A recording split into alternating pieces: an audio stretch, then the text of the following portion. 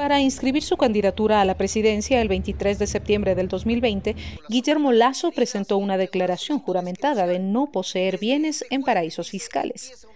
Pero a esa fecha esos bienes aún eran suyos, ya que el traspaso se efectivizó solo con su publicación en la Gaceta Oficial de Panamá, y eso ocurrió días después de inscribirse como candidato. Lazo, ahora presidente del Ecuador, es una persona que siempre ha tenido empresas offshore para ocultar sus bienes y dinero en paraísos fiscales.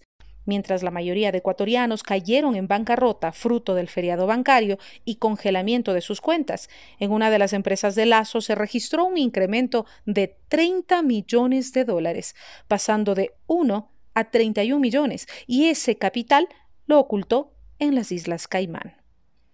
En adelante, Lazo creó 14 empresas offshore en distintas guaridas fiscales.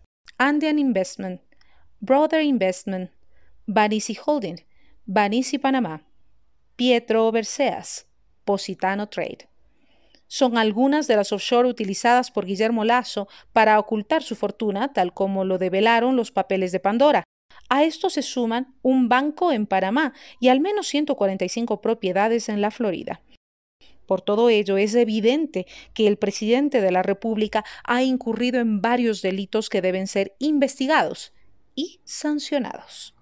Defraudación tributaria al haber ocultado bienes evitando que el fisco cobre lo que debía cobrar. Testaferrismo al haber puesto sus bienes a nombre de otras personas, en este caso su familia más cercana y socios. Perjurio al haber adulterado a propósito sus declaraciones juradas peculado bancario al realizar operaciones entre partes vinculadas para obtener recursos en beneficio propio o de terceros. Y evidentemente, incumplimiento al pacto ético al tener bienes o capitales en paraísos fiscales, incluso como propietario indirecto. No se trata de un asunto político ni ideológico, se trata de un tema legal y moral, porque nadie debe estar encima de la ley.